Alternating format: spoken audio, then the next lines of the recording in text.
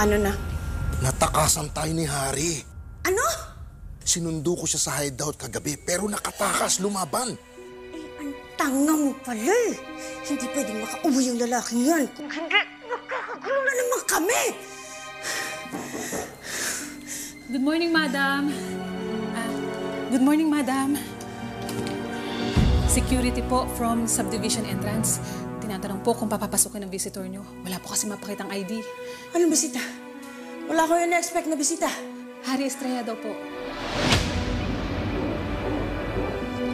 Madam, papapasukin ho. Sige. Papasukin sa loob ng subdivision. Pero pagdating niya sa labas ng gate, hanggang sa labas lang siya ng gate. Huwag mo munang papapasukin. Ho? Sundin mo na lang ako. Yes, madam. Hello, guard. Sige ho, papasukin niyo na po ang visitor. Kaya nga, dumating na dito yung hinahanap mo. Sunduin mo na, ngayon din.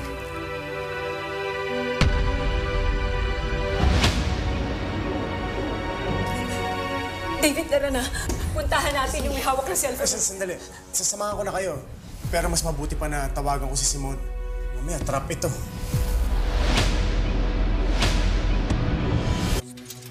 Madam Lucy! Huwag maingay! Saglit lang lalabas si Madam Lucy! Huwag maingay! Buksan niyo ito! Saglit lang daw lalabas daw si Madam Lucy. Asan si Madam Lucy? Huwag kang maingay. Pag nagreklamo mga kapitbahay, itataboy ka talaga palabas. Sirain mo yung Asan namin na? eh. Akitin ko to! Ano ba? Ilabas ko! Maingay nga. Nagluloko mo ba ako? Kanina pa ako nandito ah. Ilabas mo yung walang iyang amo mo. Nasaan? Tina, andyan sa labas si Harry Estrella. What? Akala ko ba? Akala ko rin. Tatawag ba tayo ng polis o ah, magtatago tayo? Either way, umpisa na lang bangungot ko. Maniwala ka, isusumbong ako niya. No? Tina, I cannot go back to jail. Maubos mo ng pera ko. Hindi, hindi ako babalik sa kulungan. I know, ma. I know, ma. Okay. Um, malamang kaya siya dumiretso dito kasi hindi na ni alam kung saan nakatira sila Gia. Um, you know what? Stay here. Ako na harap sa kanya. No. No, no, no. I'll, I'll do it, ma. Just stay here. Just stay here. Tina, baka mapano ka. Asan? Madam Lucy, nasaan? Lalabas na po siya. Huwag maingay. Dana! I'm here. Yes. Dana! Asan nanay mo? Ipakita mo sa akin si Madam Lucy nasaan. Alam ko gusto niya ako ipapatay. Nagbayad siya para patayin ako. I don't know what you're talking about. Alam mo, kung totoo ang sinasabi mo, ba't buhay ka pa? Kuya Adam, nasaan? Ilabas mo para malaman niya kawalang yan ang nanay mo. Nasaan si Kuya Adam? Wala na si Papa. Patay na siya. Ano? Kailan pa, Dana?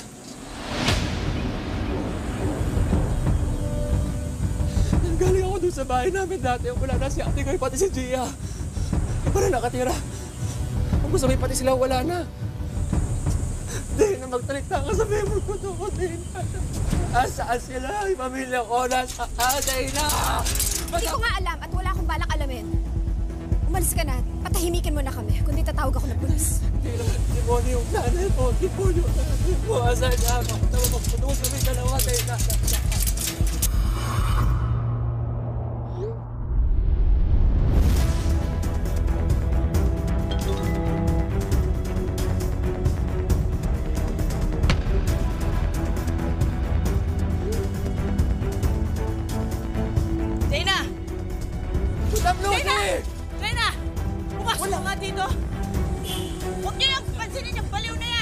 Ka, demonyo ka, Madam Lucy. Sinira mo pamilya ko. Ang nagkasa mo sa amin! Huwag mong bubuksan yung gate, ha? Let's go, let's go.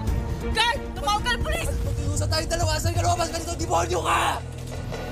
Tara. Madam Lucy, demonyo ka! Lumabas ka rito! Demonyo ka, Madam Lucy! Magtutus tayo dalawa! Hoy!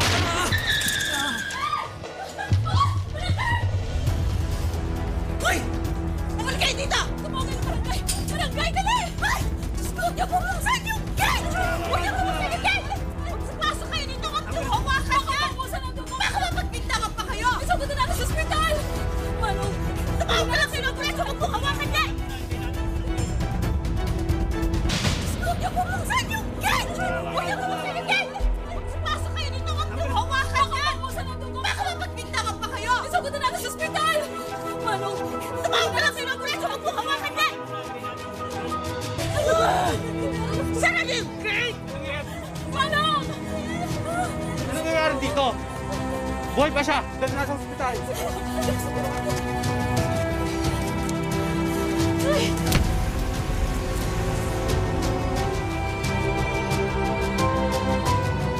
David, bilis.